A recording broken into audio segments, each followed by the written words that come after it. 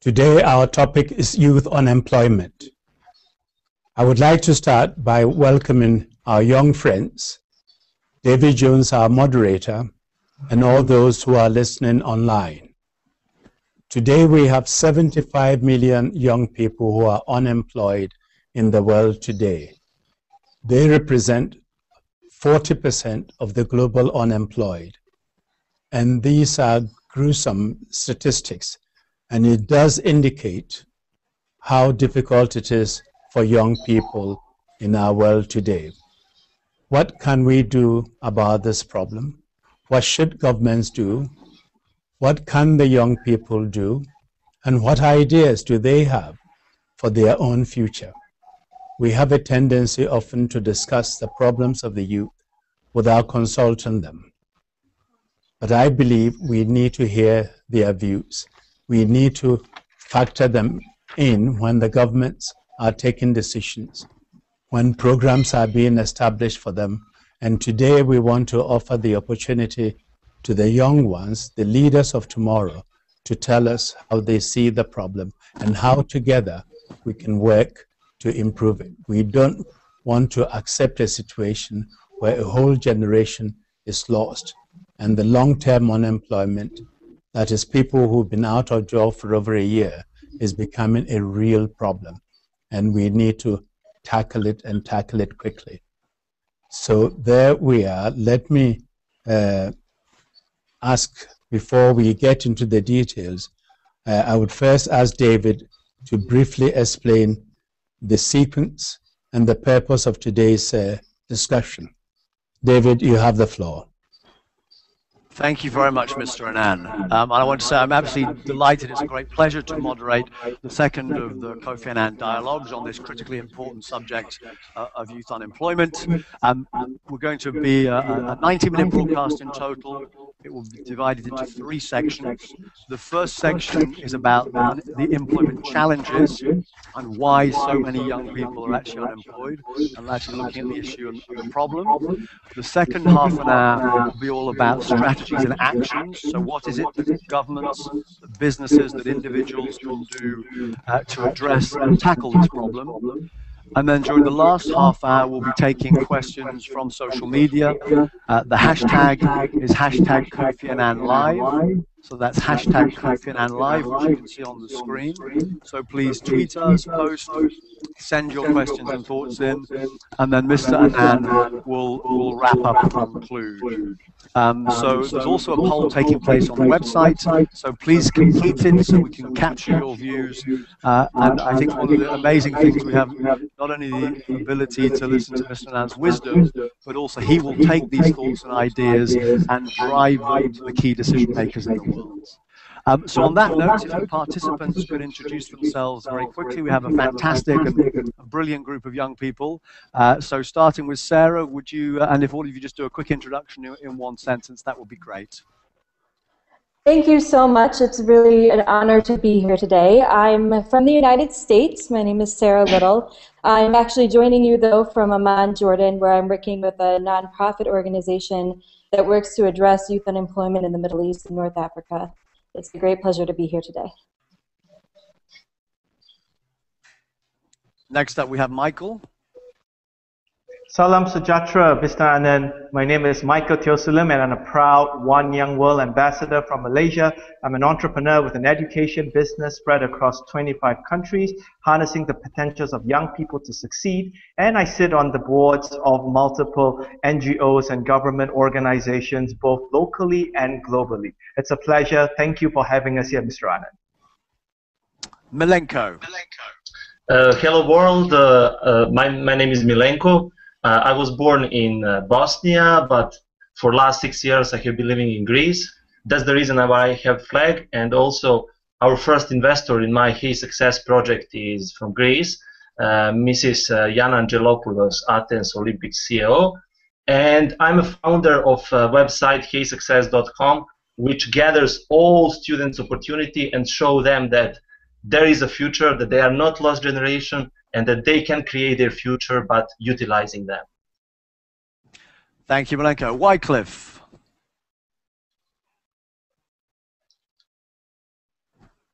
Wycliffe, you're on mute, so why don't we go across to Cedric whilst you take your line off mute. So, Cedric. Hi, everyone. It's a pleasure to be here today. My name is Cedric. I'm 28 years old from Lebanon. I'm the regional director for the World Youth Alliance in the Middle East and North Africa, and also the vice president of the Youth Economic Forum in Lebanon. And we recently worked on a policy brief on youth employment in the country, and I'm here to share what we learned from that experience. Then we have Esther from Spain and Matthew from the UK, who are both together in the UK. Um, hello, everyone.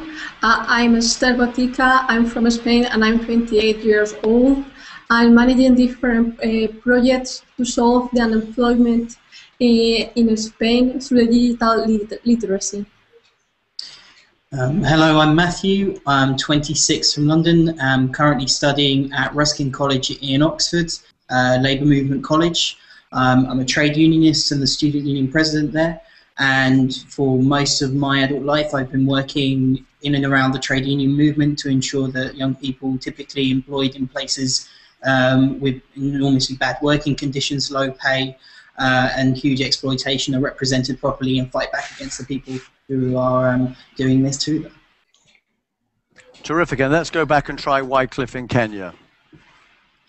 Hello, I'm Wycliffe. I'm from Kenya. I'm 27 years old. I'm the founder of Kito International, a nonprofit organization that helps youth who are homeless and living on the streets to become economically empowered through skills development and livelihoods. I'm really, really excited to be here today, and thank you so much, Mr. Annan.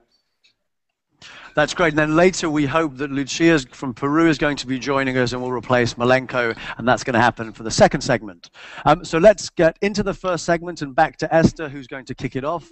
Uh, Mr. Annan and the participants are going to explore employment challenges in their respective countries and address why so many young people are either already unemployed or at risk of not finding decent work. So, Esther. Hello. Um, as everyone knows, uh, the, uh, eco the economic crisis in Spain has really impacted in youth unemployment. Uh, in that case, we have more than 50% of youth unemployment in my country in this moment. And one of the main challenges that we need to solve is how we can solve it and which uh, are the areas that we need to improve to solve that. Because we can see that politics, uh, NGOs, enterprise, they try to solve it, but it doesn't have uh, any, it, it happens, it, it, seems that it has any solution. So that's the main challenge, and also because people are desperate to find a job. They try to emigrate to different countries, but I think that's not the, main solution to do that, because these people who are really well educated, and we are losing them. So, Mr. Annan, this is the main challenge we have.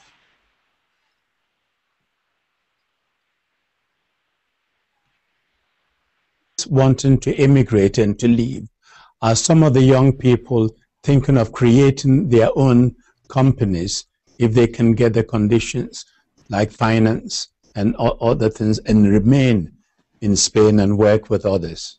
Is that also happening? I think, yeah, it's happening more and more. The people is going to create new enterprise. They are self-unemployed.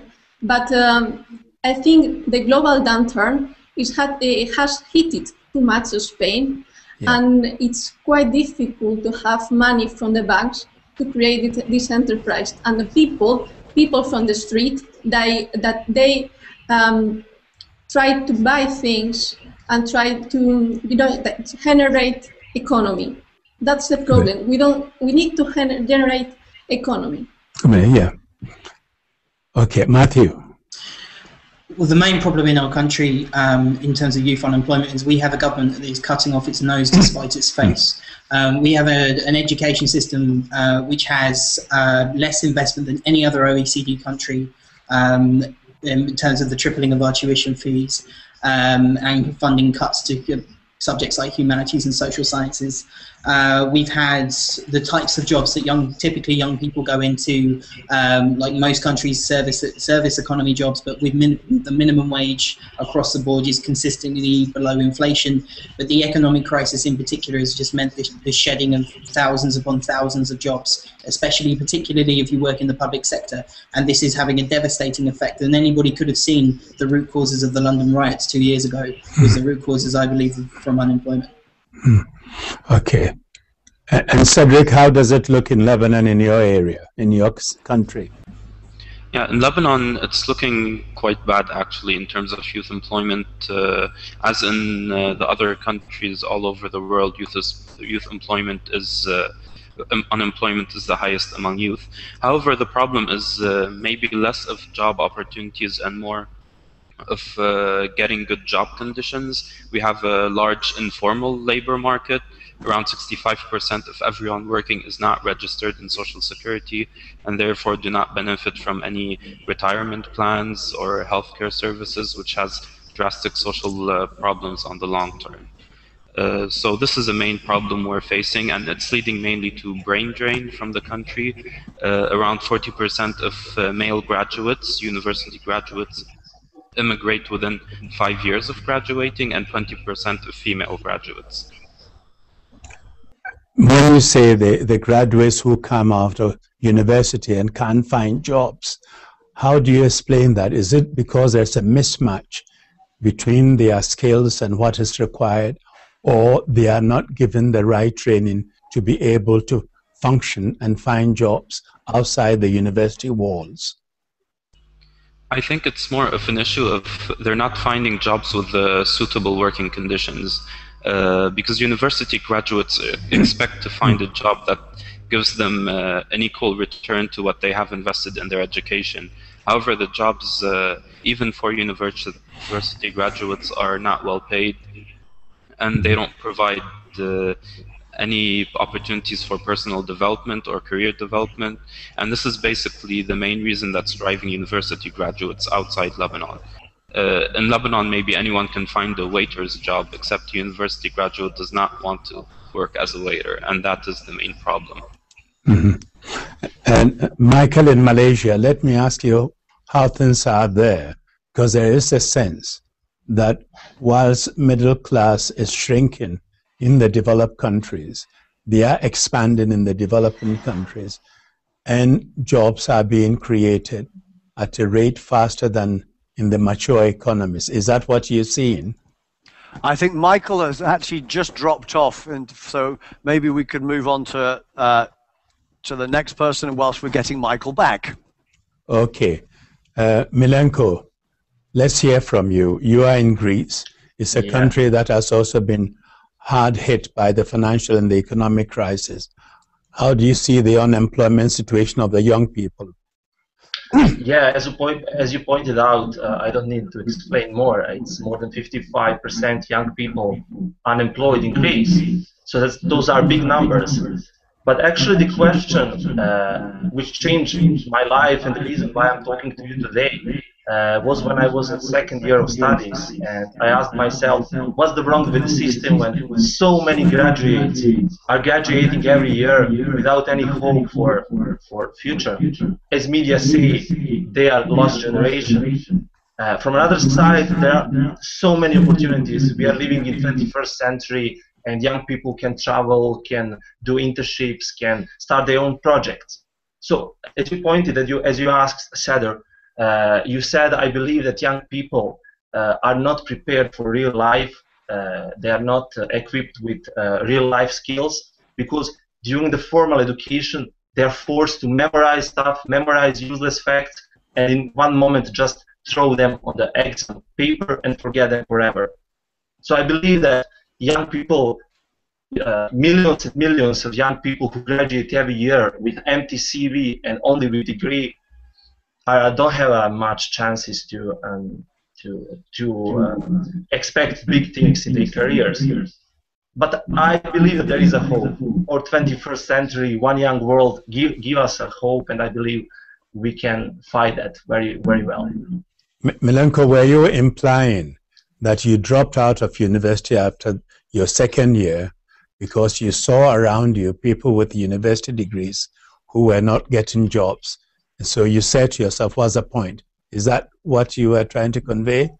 Yeah, I, didn't actually drop out, but that was the question which uh, uh, came on my mind. For that reason, I traveled to over 20 countries and I uh, did research with about uh, 300 young people by asking them the questions Does the university really offer uh, real life skills? And all of them told me, you know, uh, just degree doesn't help in anything. You need to do much, much more other things. And we in HeySuccess.com are trying to do that. Yeah. Mr. Annan Michael is back, so if you wanted to ask the question to Michael again, he is now with us. Thank you, Mr. Annan. Hi, I wanted you to tell us about employment situation in your country, where economically it seems to be doing better, middle Thank you. expanding, and uh, you are considered one of the emerging prosperous countries. And I want to see what the situation is like compared to Spain or Greece. Thank you, Mr. Annan, and to everyone watching this live session right now. Uh, Malaysia, we are progressing. We have been investing a lot into upskilling our youths, also investing in a lot of volunteerism programs where we empower them with opportunity to learn skills, experiences, and knowledge that would otherwise not be available through their formal education system in school, college, and university. So much so that Mr. Annan and everyone watching this session right now, we are beginning to see an emerging breed of youth. Youth that are not really interested in employment, but rather they want to be in entrepreneurship. They want to start their own business. And because of that, we tend to see a lot of youths technically being labeled unemployed, but they are all aggressively starting up their businesses. They are all kickstarting their ventures, sourcing partnerships and resources. So I think in Malaysia, like in any other country, we do have unemployment, but we are progressing and we are creating a new trend, I would say, a new generation of more entrepreneurial youths. So, and I think one of the major problems why unemployment still persists in my country, I would say, mainly I think we could see it from the youth's perspective. Are the youths being a little bit too demanding for salary expectations? Do they want employers to only listen to them and not vice versa? So I think it's a it's it's it goes vice versa. It goes both ways. But thank you again, Mr. Annan, and to everyone watching this session right now for recognizing the work that my country is doing. There's a lot more that can be done, and um, I'm more than happy to work with everyone, including at One Young World, to make that happen. Okay, Michael has raised a couple of couple of issues here which uh, should be of interest to all of us. First of all, he talked of training which also implies vocational training skills that uh, young people are being given, and they walk into the marketplace with a can-do spirit that I want to establish my own company. I'm not looking for a job, but then of course to establish your own companies, ideas are not enough. You need financing, you need advice and management. What sort of structures are in place to help steer the young people uh, in Malaysia. If it can be done in Malaysia, can it be replicated elsewhere? Let me now turn to Sarah. Sarah, what do you have to share with us? Sarah, are you there? Sarah, you appear to be on mute, actually. Beg your pardon? Sorry, David, you said something. Yes, Sarah, we can't hear Sarah, so I was just telling her I think her microphone is on mute if she wants to unmute it.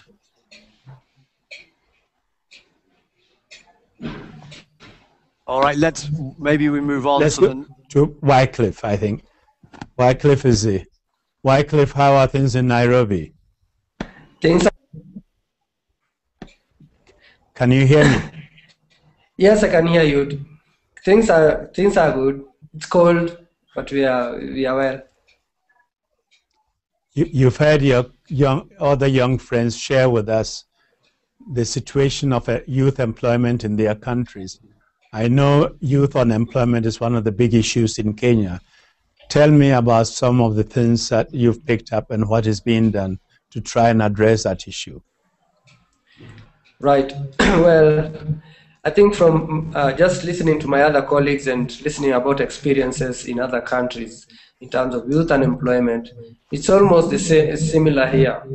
But um, the new government is just rolling out uh, an initiative to provide youth with financing. But I think without the right skill, without the right training in skills that can really enable them to to set up small businesses or to set up companies that will eventually absorb other youth, it's, it's still it's still a challenge. Um, but I would say that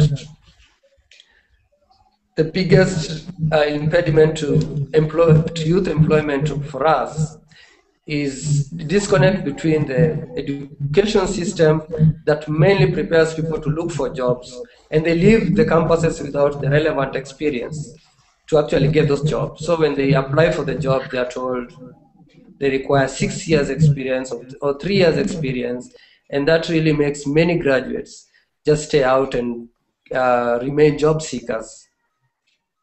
Yeah. From the discussions we've had in this brief period, what is, what is becoming clear is that sometimes people come out of universities and they cannot find jobs. Some have the courage to want to start their own jobs, their own businesses as entrepreneurs, but they need help, they need finance. And of course, on the job market, when the financial crisis struck or economic crisis struck, the young people were the first to let go on the basis often they do not belong to the unions, and maybe Matthew will say something about this later. They are not union members, uh, they ha- don't have seniority, and ironically, often they are the ones with the computer skills to be able to help the company, but they are the first uh, to let uh, go. And this is where the question of do you go around looking for jobs which do not exist, or you band together and say, what can we do? How can we create our own employment? How can we form committees, keep ourselves busy, and bring others on board? Who wants to step in here? Matthew, uh, you may want to say something about yeah. the tra- trade union trade union aspect and its impact on, on youth? Um, okay, um, um, absolutely. I mean, if you look um, when this government, our government, um, the, the coalition between the Conservatives and the Liberal Democrats were elected in 2010, the very first people to show resistance to austerity, or as someone else called it the other day, planned poverty in this country, were students. And this was a student movement which had hundreds of thousands of students on the streets against the tripling of tuition fees. Uh, this led to within 22 votes of the governing coalition um, backing down over tripling of tuition fees. What that did, though, was completely show, as you're completely right, it showed up the trade unions for being completely lagging behind where young people were seeing that they were suffering, which was the, their education system, let alone the opportunities, not for, I, get net, I guess, for entrepreneurship, but just actually to be able to go out and get a job and have some dignity in your, in, like in your working day. Um, where the trade unions in particular have failed is that they've been they've been on in the decline for um, for a couple of decades now. They have shown signs over the last couple of years of picking up, taking seriously the issues of employing students who work and people uh, taking on apprenticeships and taking on um, people particularly on low wages in in, the, in those kind of like large supermarket service economy jobs. But they're nowhere near enough what they used to be. They aren't the old-fashioned image in our in our country in particular of being in rows and rows of industrial housing where everybody knew everyone else. They were all in the union because they all worked in the same factory. Um, we can only hope that the, to me the, the problem with youth youth unemployment isn't the entrepreneurial spirit. If you wish to get if you wish to start a business in Western Europe, you're in a fantastic position to do so. Other than the banks not being able to lend you as much money as they might have done pre 2008 in terms of for small business startups, it's a wonderful. You've got the lowest corporation tax rate in, in Europe if you're really going to progress your company that far. What it is is that wages are stagnant, conditions in places where where people do work, though not as bad as other countries, isn't very good at all and this is the this is the place where we really need to be focusing on because with without that those entrepreneurial spirits won't won't really go anywhere because you won't have people with the disposable income to be able to spend things on what entrepreneurship um, entrepreneurs sorry are offering. Mr. Annan, I think Cedric had his hand up. Cedric, please go ahead. Right, thank you, Mr. Annan. Well, uh, you asked us offline to be as honest as possible, and so I will uh, do that, creating some controversy in the process. Uh, I would like to agree with the, the points uh, mentioned by Milenko on uh, uh, young people graduating from universities and lacking some basic professional skills. This is a, an experience we always go through here, whether at the World Youth Alliance or the Youth Economic Forum where I have people who are actually uh, more qualified than I am academically speaking. However, if they can't write a report or uh, read a, an action plan, for example, it makes it difficult to actually hire them, and therefore they barely apply for internship positions. Uh, however, the question is, uh, is offering them uh, skills actually creating job opportunities? Because if we offer them the skills to get jobs, in the end they're going to get these jobs at the expense of other people who are of who are older than they are. So in the end we're not really creating jobs and that's my opinion on the matter. And so here i would go back to what esther said uh, with regard to the economy. So esther talked about the economy and how we need actually a prospering economy in order to create job opportunities for both young and uh, older people uh, and then entrepreneurship can be a solution. Uh, it can be a solution for young people. However, something to note is also in entrepreneurship, do all young people have uh, uh the skills to create their own businesses, to create their own entrepreneurship uh, enterprise in terms of management, in terms of uh, marketing? do they have the enough skills not to fail? Because we don't want to set them up and new businesses and then having them fail in the end because that's worse than being unemployed. Uh, so the question is how can how much can entrepreneurship actually absorb absorb out of uh, the youth unemployment uh, uh problem? And the last comment is uh, with regard to the trade unions. Trade unions in a lot of developing countries, including Lebanon, trade unions are not really effective at all. In Lebanon, they're highly politicized, and so the role is uh, not really the role of a trade union as uh, as uh, traditionally thought. Thank you. No, th thank you, Cedric. You've raised a couple of issues here. First, the type of training people get in these institutions before they go on to the job market. Is that the skills the companies and the, and the market is looking for? Or sometimes they go to get a degree with, uh, without any relevance to what the market needs. And this is where the question of skills, vocational training, training on the job, and other things become relevant. You are right that in this age of austerity, the economy is not expanding as quickly as it could. And if young people were to set up their own companies, they would need financing, they would need management advice, marketing, and others. And there must be systems in place to help them do this. And, and of course, the impact of uh, entrepreneurial activity is that is the small and medium-sized companies that create jobs. They create more jobs than the bigger companies. You know, so if you had young people setting up small, medium-sized companies that are sustained because they have financing, they have support, they will be able to create jobs for themselves and, and for others. And so we shouldn't dismiss that. But of course, that's not enough. We will go, come to this later. The government has a role to play, and even the corporations. I think that's a nice answer to one of the, the tweets that we got, Mr. Annan, um, from actually somebody called Kofi Yeboah from Ghana. And his point was Do you agree that the educational system is one of the main causes of the high unemployment rate? David, is, I'm glad you emphasized this point because you also have situations, we have the other extreme where people with good education, good background, technical skills, who've gone to school and done it, who can't find jobs, and they also don't understand it that I was told to go and get education. I've got myself into debt to get university education, MBA, or whatever, and I'm still unemployed. And that leads to even greater frustration. Have any of you encountered young people in that situation? I think Sarah has her hand up. Sarah, Sarah, go ahead.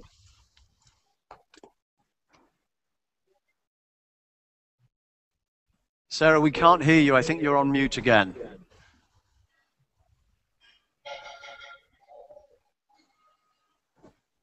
Try again, or if not, we'll go to somebody else. Sarah, you, you, you okay? Sarah can still still can't get through. Who else wants to say something on this issue? Milenko. Milenko?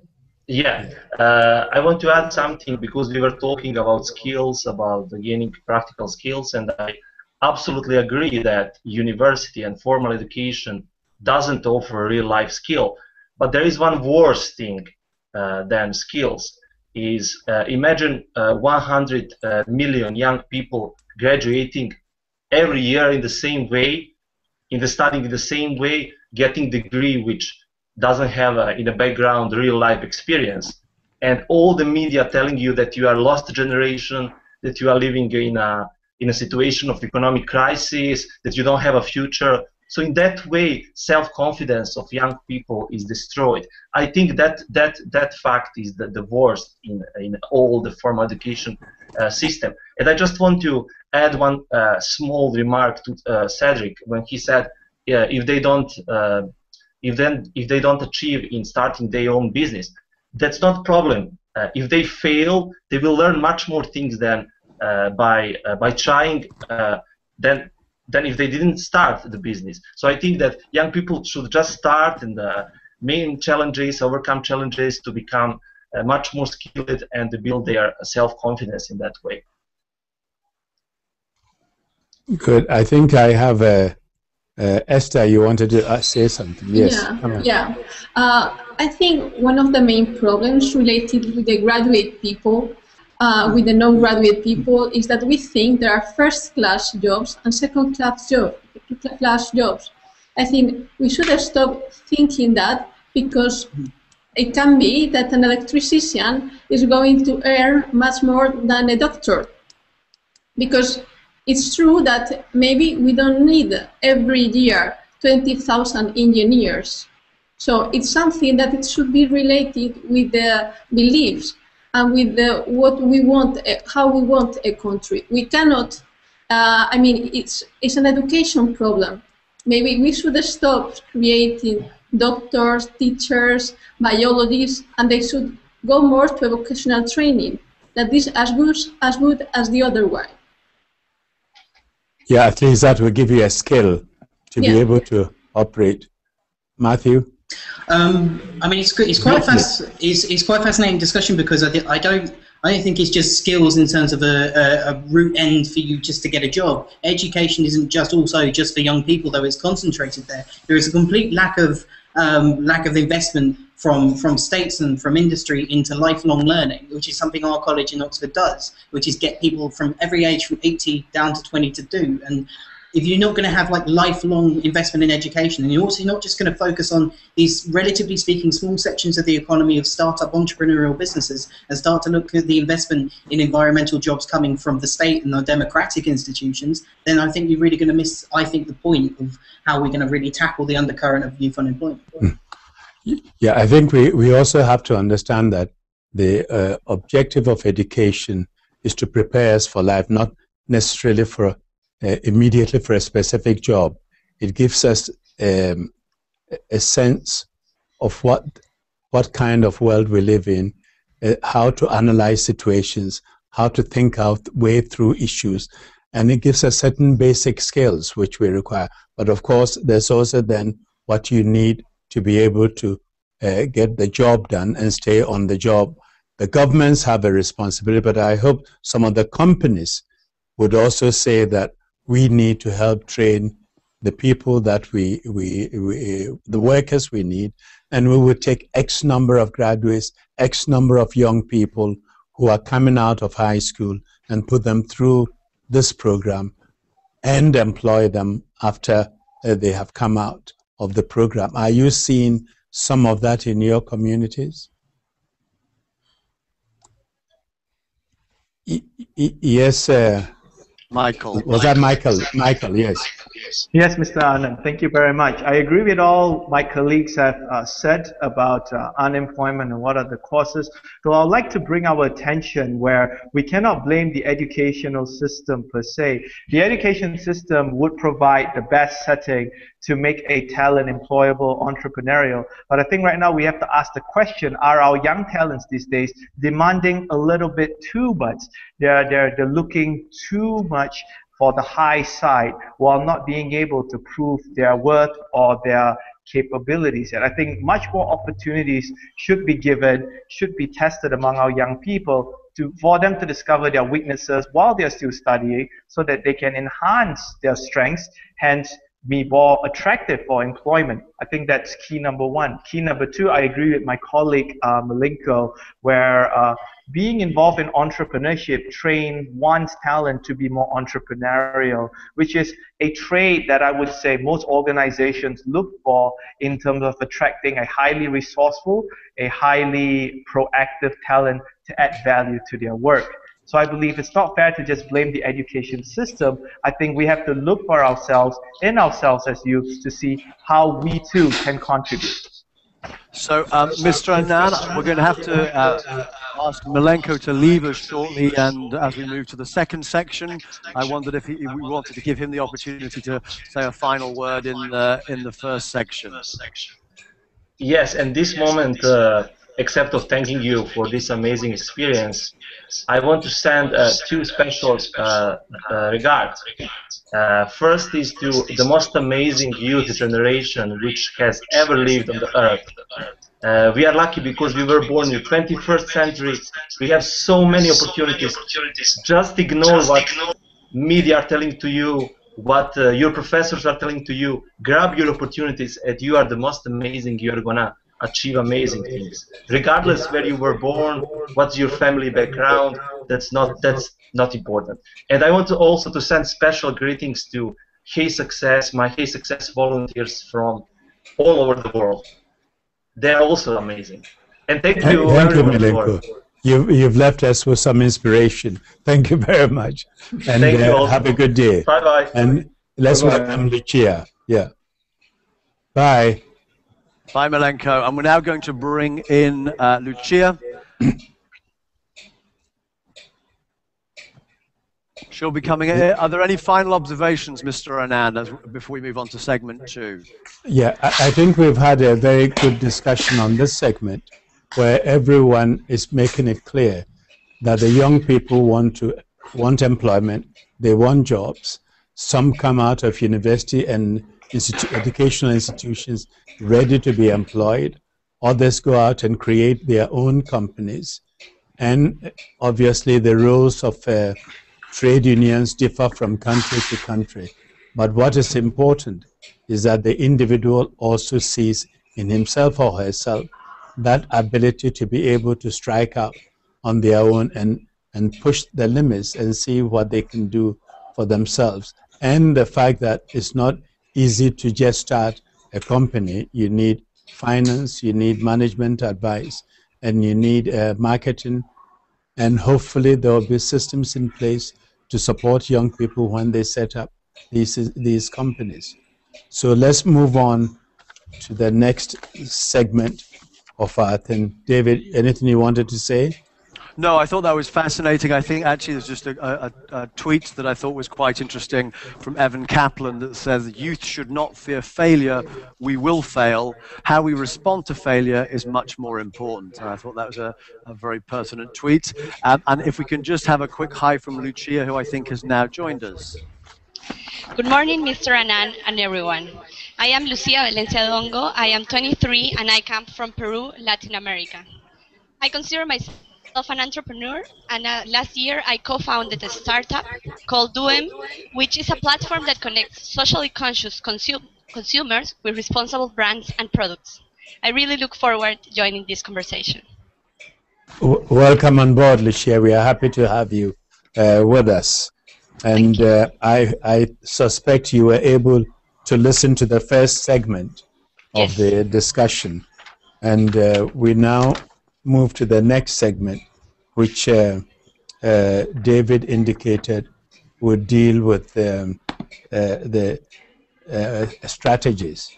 David, that's right. And we, we, we it is indeed. We're going, we're, going, we're going, to ask, I think, Sarah to kick off. Um, this section is all about, okay, so we, we've talked and, and looked at the issues and the problems. What are the strategies, the actions? What can government do? What can business and the private sector do? And what can individuals do at both a local and global level? Yeah. And what they can all do together, too, in partnership. Yeah. Absolutely. My, one of my favorite quotes of yours is if, if you want to go fast, go alone. If you want to go far, go together. Good. Okay, who, who wants to start? Sarah. What are the strategies? Sarah, go ahead. I hope we can hear you this time. Mm. Oh, gosh. That's frustrating for you, Sarah. Sarah, try try again. Are you on mute? Just give it one more chance. If not, we'll go to somebody else.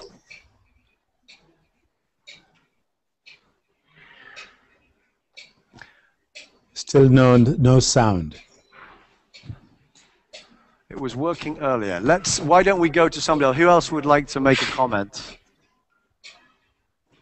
Wycliffe, is that your hand up? Yes, it is. Wycliffe. Yes. Okay. Go ahead, Wycliffe. Thank you, Mr. Annan. I, I think that one of the strategies, uh, looking, looking from the Kenyan perspective, one of the barriers to youth uh, setting up something or, or actualizing the ideas is, is financing. And this is because there are so many restrictions from uh, MFIs and banks that really are barriers to youth accessing the necessary capital for them to start to set up their businesses or to actualize the ideas, the innovative ideas that they have. So one way is to, to, to for those institutions to develop youth-friendly products that really uh, youths can not necessarily very easily access, but can be very accessible to the youth. Most of the youth who are in the informal settlements, like uh, where I work in, there's a very large group of youth that is unemployed. But if you talk to them, they, they have really brilliant business ideas, but where is the capital? They go out there and they can't access it. The government set up a youth fund a few years ago, and still accessing it has been a challenge because it was given to banks to disburse it. So relaxing the restrictions and the conditions and the requirements for the youth can, can help, in, can be one way of helping. Capital is always uh, an important question for new entrepreneurs. And to it's not everywhere in the world that you have uh, venture capitals, uh, capitalists who are prepared to put up money.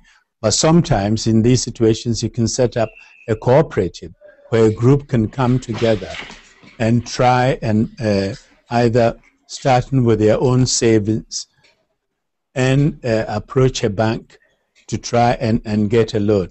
I heard of a fascinating uh, project in Kenya where you, I, I, don't know if you've heard about it, it was called Rent a Cow, Rent a Cow, where an NGO came together, they banded together as an NGO, and, and uh, the farmers had more cows than they can milk.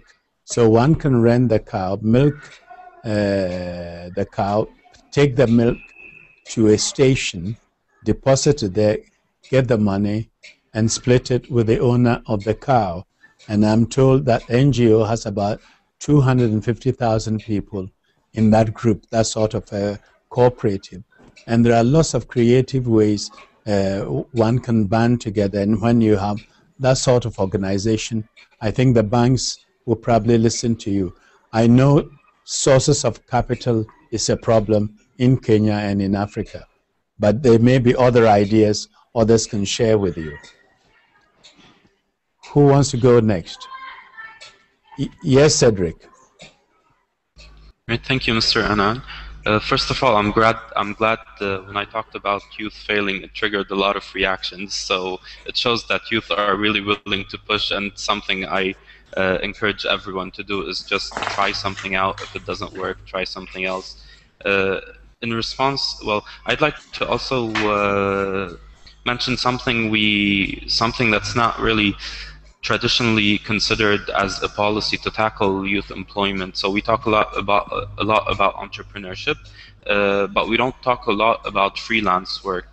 uh, a lot of our university graduates actually do freelance work in the informal sector uh, to to gain some uh, side money in the process, but also to gain some expertise uh, within their field of education.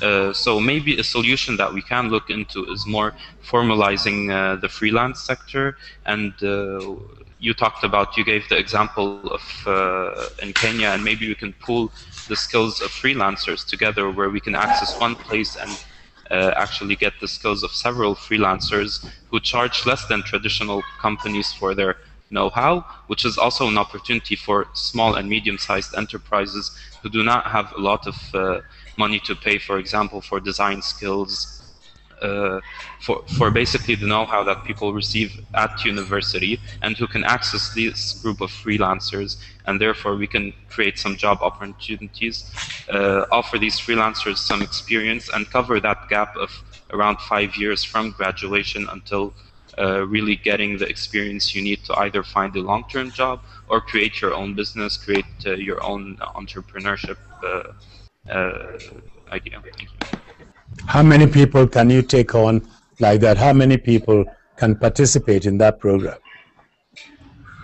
Well, first, first of all, you need the government policies in place to uh, to have the freelance uh, business become uh, formal in the sense that uh, you need to have the systems in place for them to actually pay for uh, taxes for their income tax. But that would be well, we're talking about giving the giving them some uh, reductions within the tax, but uh, also offer the, offering them some uh, social security because freelance work doesn't offer you any social security in that sense.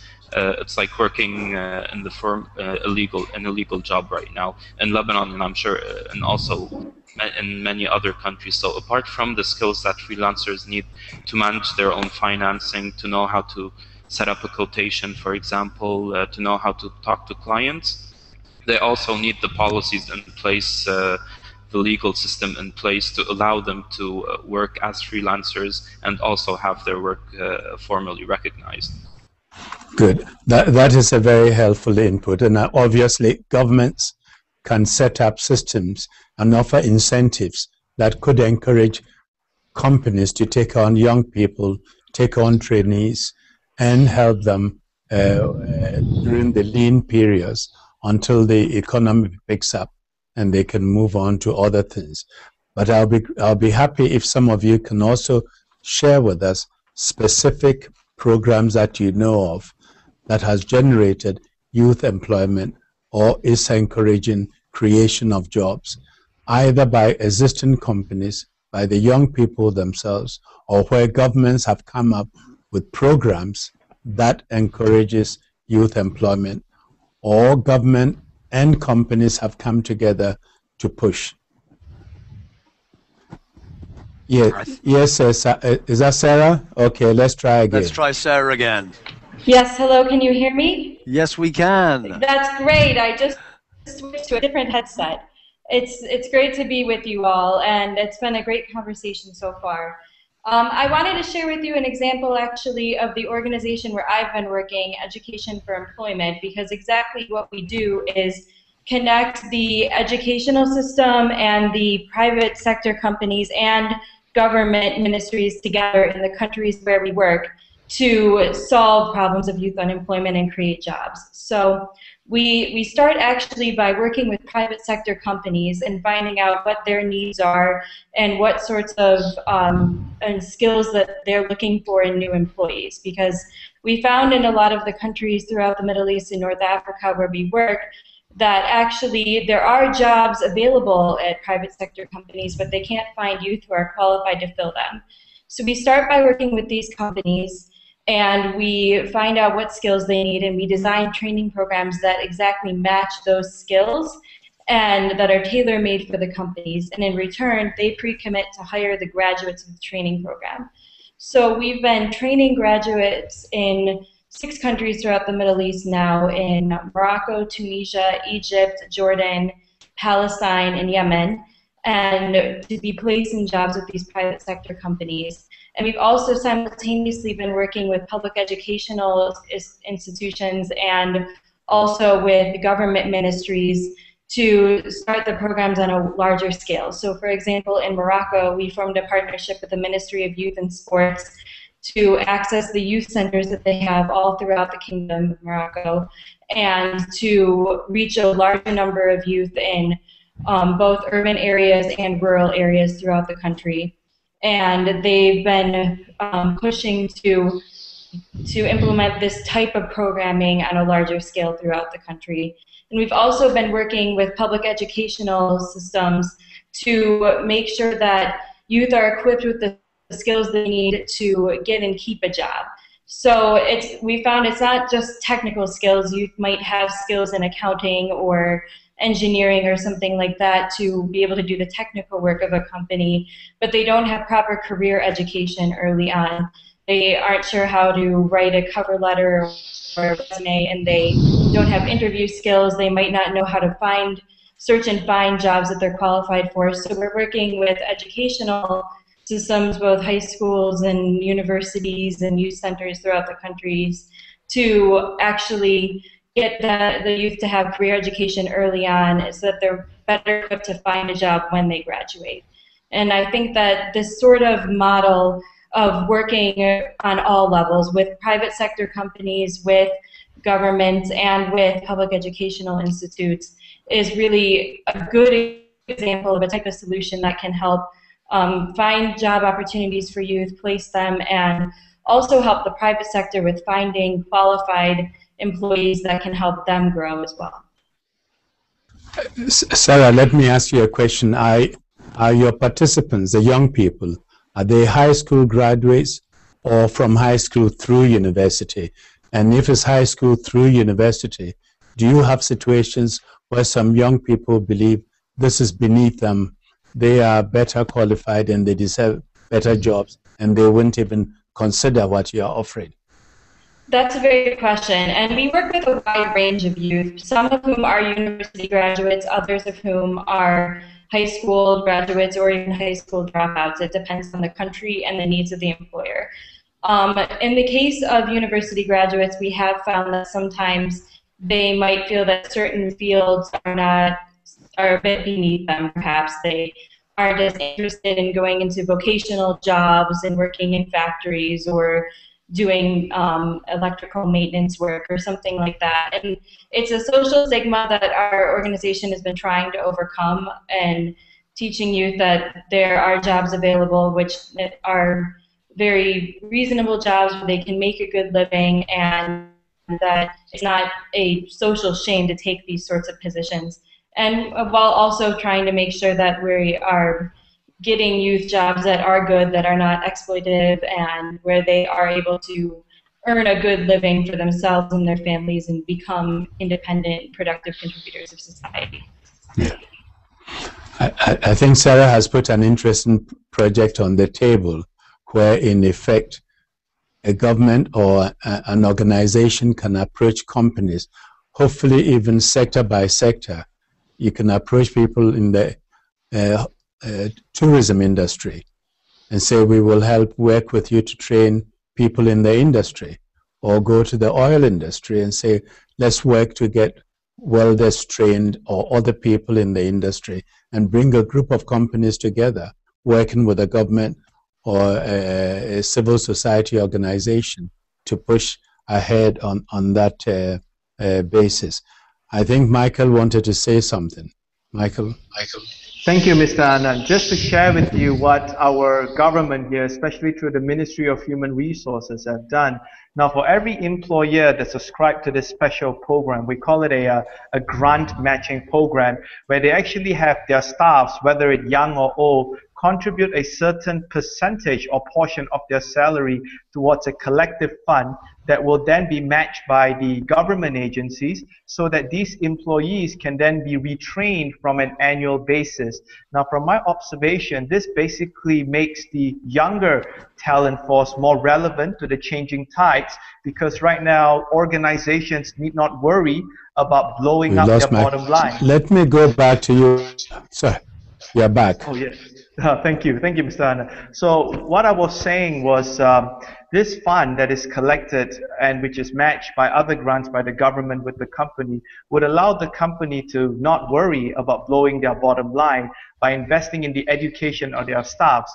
And personally, what I've seen is that this really helped the younger staff keep up to date with the skills, the experiences that they would need to be relevant in the job market. So I think a solution right here is government could incentivize, they could actually match grants with companies to actually send their employees for retraining, for further enhancement of the skills in order to keep them motivated, to keep them relevant, and to keep them in trend with the demands of the industry. That's a little strategy right there, Mr. Annan. Would any of you have advice advice for Wycliffe when he, he raised the question of if a young person wants to set up a company, how does he get the finance? How does he get the advice he needs, whether on management, on uh, marketing, and other skills? You you have experiences uh, to share. I'll come back to you, Michael, but let me try uh, some of the others. Lucia, Lucia's got her hand up. Lucia. Um, yeah, uh, Latin America is a region of entrepreneurs. I have the experience of creating a startup last year in a developing country. So I would say that one of the best ways to tackle youth unemployment is uh, promoting a new generation of socially conscious and innovative entrepreneurs.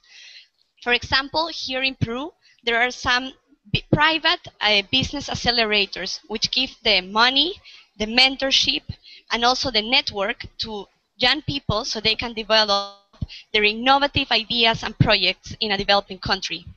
This year, the Peruvian government is starting Startup Peru, which will be a public accelerator which, which will give grants to uh, more than 100 innovative projects all over Peru.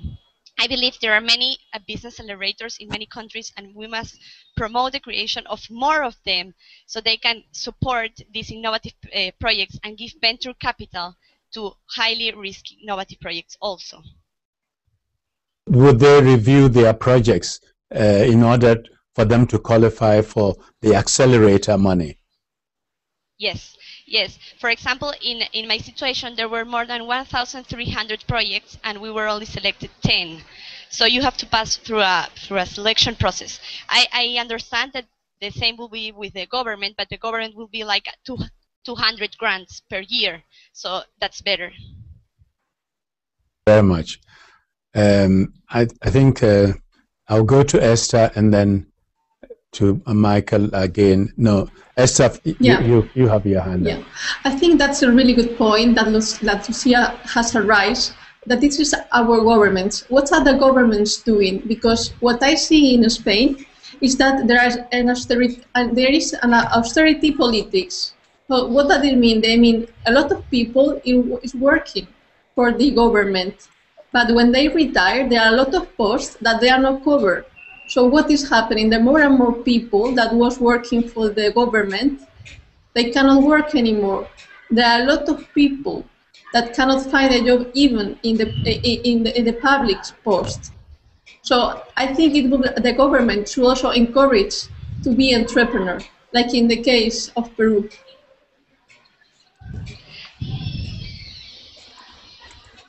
Yes, um, I think Lucia has her hand up. David, again. David, help me there. Who has? Who is it?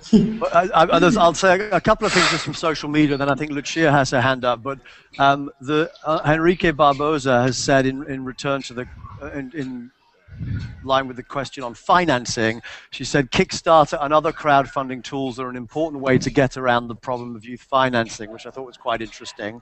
And then talking about austerity, Sofia del Palacio has said, you know, the main problem here is the lack of investment in education and the lack of resources for new entrepreneurs. Austerity will not solve any of those problems. So I thought two interesting and pertinent comments that have been tweeted. And I think, Lucia, you have your hand up, do you not? Yes, um, I wanted to say that it's not only a government responsibility, but also it needs to be a joint effort between the government, the private sector, universities, and the youth. The private sector is really important because they have the knowledge and experience to mentor and support these, these young entrepreneurs. And universities must give the knowledge and they must also promote um, these practice-oriented study programs. So the students finish university having this more experience and having an entrepreneurial spirit. Uh, for example, here in Peru, when you study medicine, you need to go uh, after you, you finish the career, you need to work one year in some rural area of the country. The government gives you some money, and with this experience you gain with this experience you gain also uh, well experience and you facilitate the education work transition. I believe these kind of programs should work with all careers. Um, and i will i wanted to ask you mr kofi annan what public policies we need to, to do to to put these kind of programs in in different countries especially in developing countries? No, I, I think we, we all have to learn from each other and when we discover something that works, not only should we encourage it to be replicated, but we should also scale it up. I would also want to say from the discussions we've had that universities should play a role. Educational institutions and universities must be concerned about problems of society, and they should work with society to find solutions to some of the challenges that we, we face. And I hope we can encourage universities in our countries to take on the issue of youth unemployment and to come up with approaches and strategies that will help put the youth back to work and really uh, help us avoid a situation where we will be talking of a lost uh, generation. Michael, you had your hand up. Thank you, Mr. Annan. Just to share one of the strategies that has been done here in Malaysia, we have a one-stop center where pretty much for those who are interested to launch an entrepreneurial venture, you have the funding agents there, the banks there, the loans, you have the training facilities there, you have the business writing clinics there. So it's all in a one-stop center. Also, this one-stop center also plays its role as a hiring hub where pretty much graduates are looking for work uh, they can actually go there, look for jobs, be hired into an SME, be hired into businesses. So I think creating a physical hub in every single state or every single county or community would help a lot. It'll be a one-stop center. If people want to get loans for entrepreneurship, they can go there, or people want to get employment, they can go there as well. Just sharing, Mr. Annan. Thank you. Th thank you very much. I think, uh, Matthew, you had your hand up. Yeah, I just um, maybe very much on a different tone because I don't suppose entrepreneurship is really my my my forte as such. But I think one of the things underlining all of um, all of these issues in the economy, and particularly in in the British economy and in Western European economies, is there's no demand there. As um, Mr. said quite rightly, this, the austerity means that uh, it's been so dramatically cut in Spain, for instance, as it has been um, in Italy, Ireland, Portugal, and places that when you when they're looking for the private sector to soak them up, their jobs aren't necessarily coming because the growth hasn't hasn't got there. So when because the growth isn't there and the private sector is only incrementally coming, when the private sector moves into these areas, and I think in terms of our education system, and to go back into different projects we're running, you can look in, in our country, for instance, in Sussex University, in Warwick University at the moment, in different disparate places all over the country. You've had stu- you've had places where the marketisation of education and the privatisation privatisation of education has meant mass course closures, mass department closures, because they want to slimline it, because they, they, there is a singular fundamental concern when they're taking on such a such a huge area of the public sector. That is the bottom line. That's to make cash, and that is to take take labour and make something at the end of it. And I, I think there's a, a really really big danger here if we're looking solely quite at the at the micro level and right right down to the taproot level of people. You're missing out on the, actually what privatisation, marketisation, and the, the enhancement of entrepreneurship within to the public sector is going to do, and it's going to hurt people. It has hurt people. It will hurt people even even more on a deeper level, and you will find what happens in Turkey and Brazil will just explode up in different places again. No, I, I, I think uh, the, we, we, we are all conscious of what uh, austerity programs has done. And what is difficult is everybody is cutting at the same time. You know, uh, your, your um, as uh, Paul Krugman puts it, your expenditure is my income. My expenditure is your income. If we are both not spending, how does anyone get an income and move on. I'm one of those who believes that uh, on this question of austerity, one has to be moderate in the short term to the longer term, and then be disciplined in the long term to get the public finances right. And I think the debate that is going on in Europe seems to be moving towards easing of the austerity programs that we have uh, seen. I think that will be very positive for ev everybody. But the governments also have to come up with approaches that encourages the banks and the companies to uh, to lend money. I mean, today you have corporations sitting on about, according to the ILO study, six trillion dollars, which are uh, building up cash, paying dividends, buying back stocks, but they are not investing. They are not uh, giving the money out for productive uh, investments. And all this can change if the governments were to come up with the right incentives and approaches to uh, get them out. But uh, the, the question of access to funding, the question of uh, encouraging entrepreneurship, you, you focused on uh, uh, uh, privatization.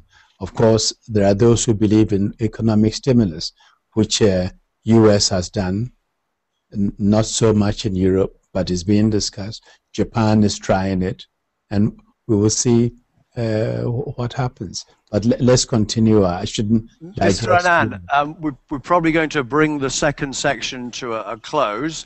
What I was uh, just interested in, uh, a quick question from me, if I may. Obviously, um, I do two things. I run a charity, but I'm also a CEO, and you know, business is clearly a key uh, solution driver in the in fixing this issue, what would your message be to the CEOs of the world around this critical issue of youth employment?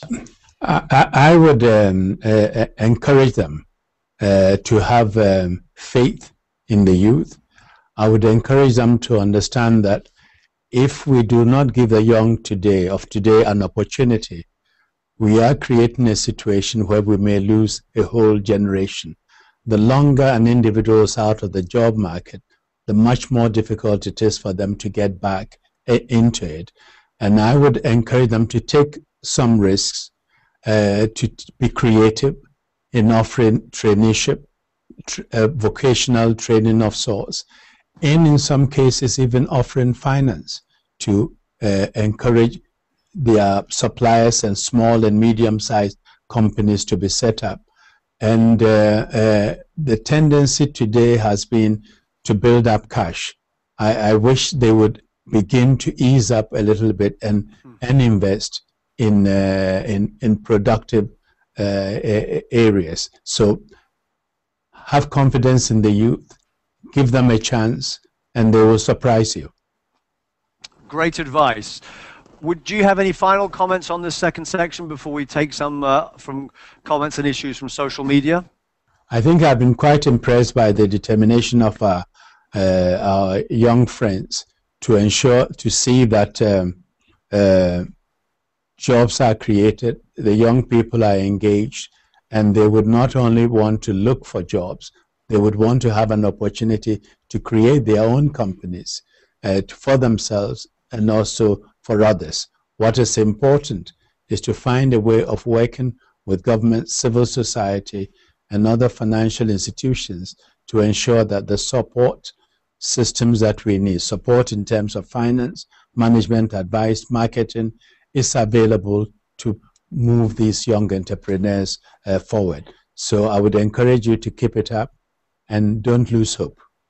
I think for one of the, the comments from uh, social media sort of sums it up from Laura Kanga. She says there's a need for concrete actions.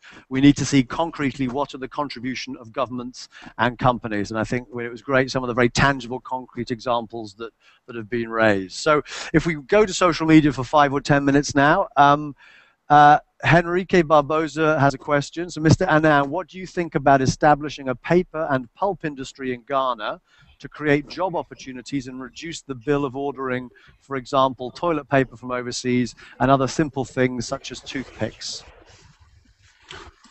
obviously is, is good for any society to be able to produce what it needs. I've often um, uh, criticized uh, African countries that we produce what we don't eat, like cocoa, and export, and import what we eat. If, if, if we can uh, reverse it, and this is why we are now very focused on agricultural transformation, and whatever we can produce locally will help the local economy. Uh, I'm, I'm not sure uh, pulp will be uh, uh, on the top of my agenda. And a, a, second question, which I think is quite interesting, um, is part of the problem the loss of the relationship between employer and employee and viewing employees as human resources? I think there are, several uh, different models. I mean, there are those who see it as up-down uh, employees as human resources or employees as members of the family, that we are all one family working with, on one mission, one goal, and we share the benefits that comes from the uh, enterprise. And I think uh, uh, that approach usually is, is much better in the sense that it generates loyalty and uh, uh, people come to work happy knowing that the benefits would also be, be, be, shared by them. But of course, today there's a question of the distribution of benefits between capital and labor. That is, labor really is being squeezed out and it's not getting as much of the benefits as capital is.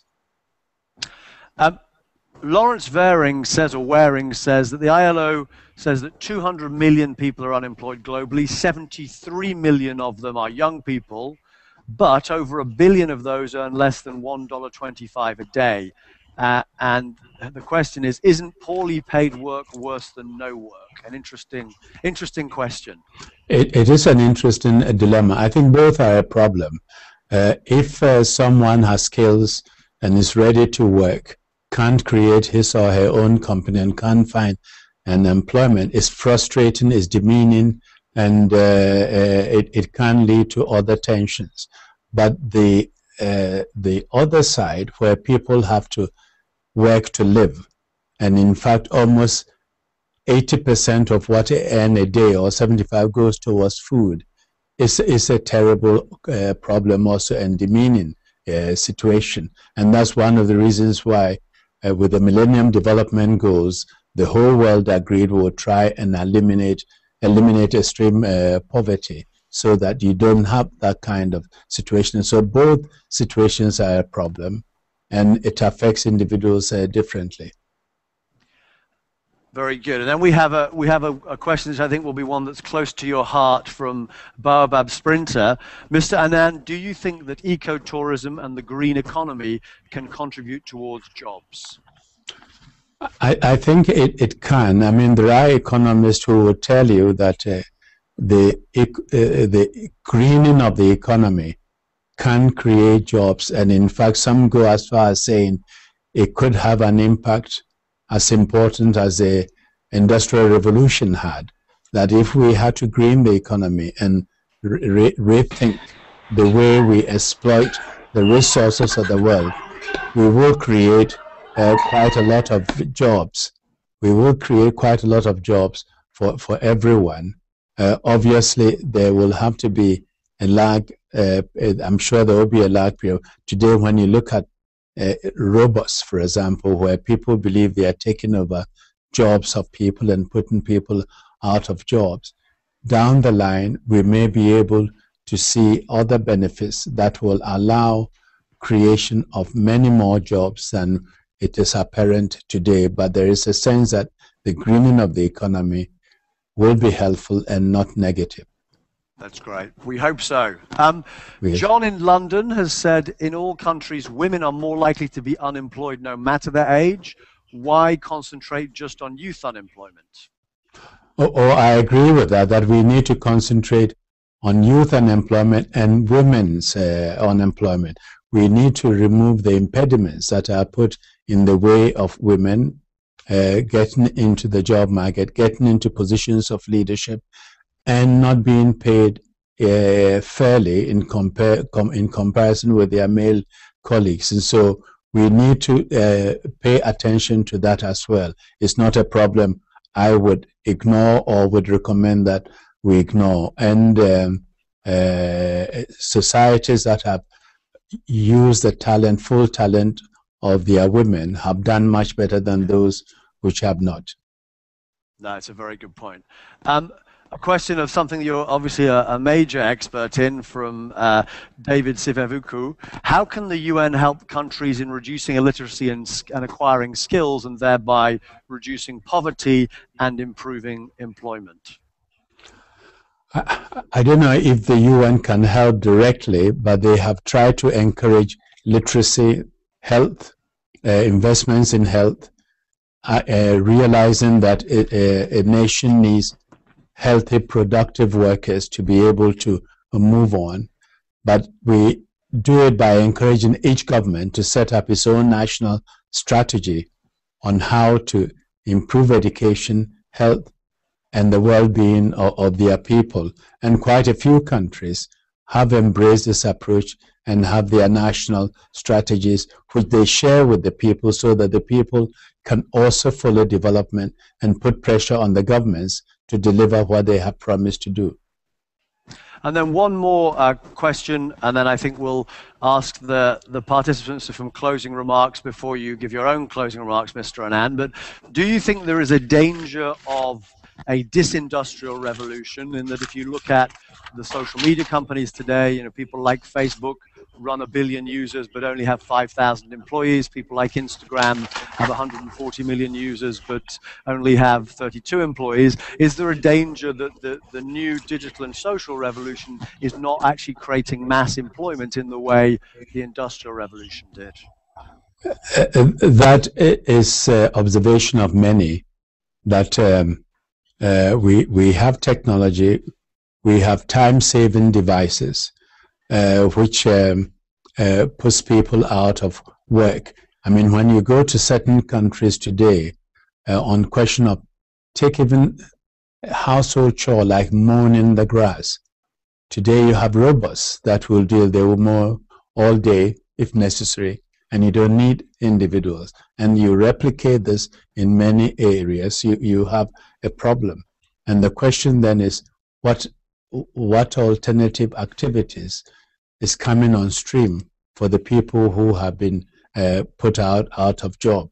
This is one of the challenges of, of, of our, our, time.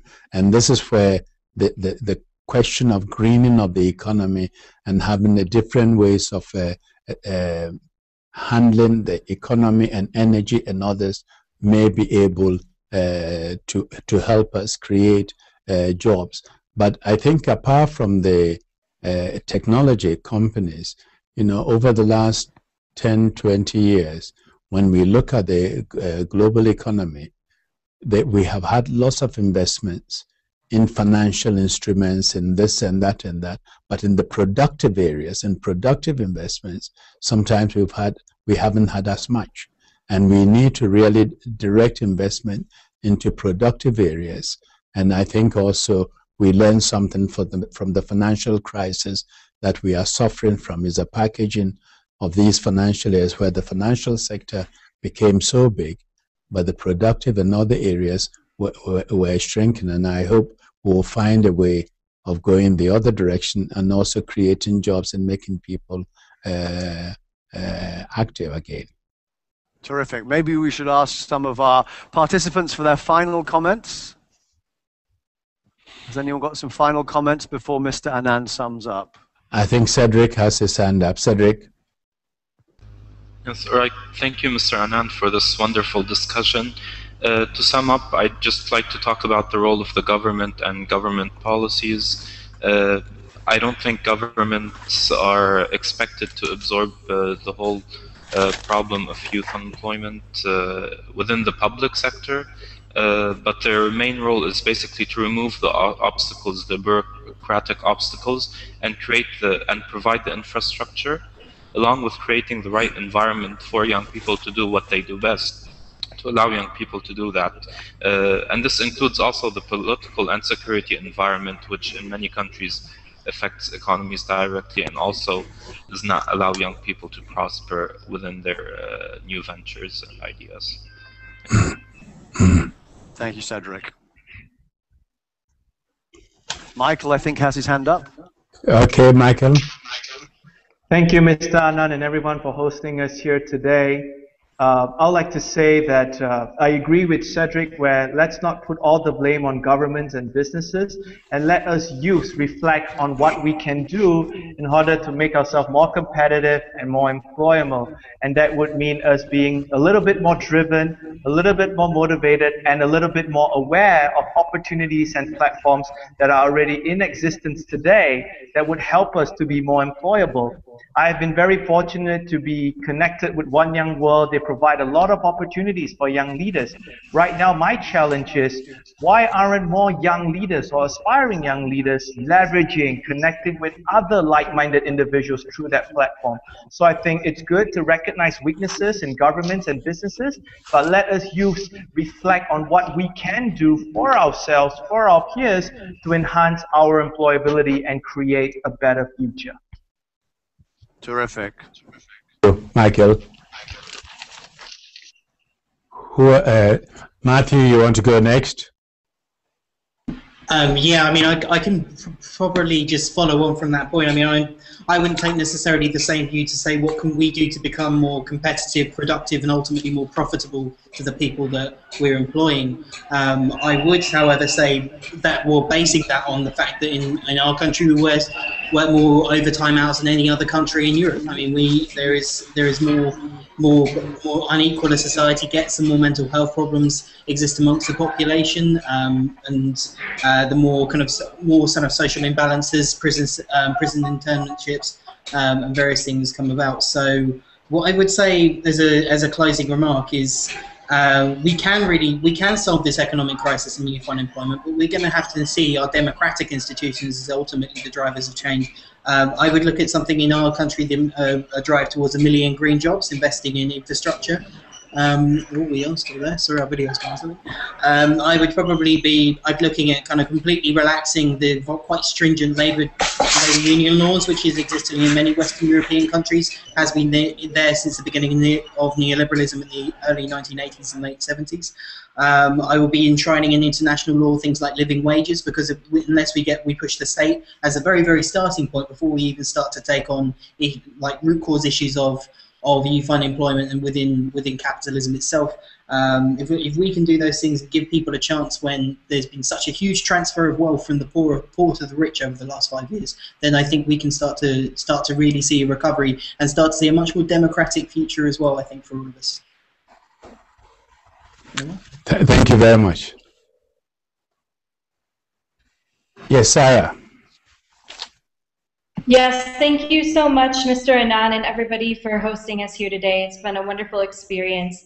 Um, I just wanted to say that I think that this challenge of youth unemployment is something that's going to take a longer term investment from a variety of um, stakeholders in it. So it's, it's not just going to be an issue that we need to bring up with governments, but it's also an issue that needs to be addressed by private sector companies, by educational institutions, by nonprofit organizations working in this area, and by the youth themselves. And so I think that the important thing is for people to be thinking about how we can combine all of these elements to create a more holistic solution to the problem, and that will happen over the longer term as well, rather than coming up with short-term projects and, pro and programs that might address this issue it'll be something that will require the input of a number of people and stakeholders across the world over the long term to really address.